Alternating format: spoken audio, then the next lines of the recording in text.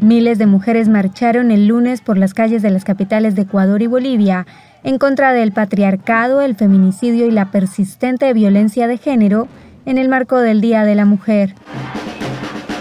En Quito la lluvia no fue impedimento para que cientos de ecuatorianas volvieran a reclamar el respeto de sus derechos y denunciar los 20 feminicidios registrados en el país en lo que va corrido del año, según reporta el grupo Aldea, que compila estadísticas sobre la situación de la mujer. La marcha arrancó desde la céntrica Plaza del Teatro y se dirigió hacia una sede de la Fiscalía General del Estado ubicada en el centro norte de la ciudad.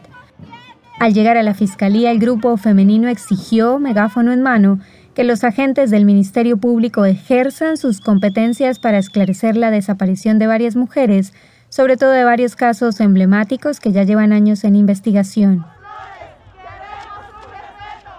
El panorama se repitió en La Paz, donde cientos de mujeres reivindicaron los derechos de igualdad y no violencia, junto al pedido de que se profundicen los avances ante los persistentes casos de feminicidio y de agresiones sexuales en el país.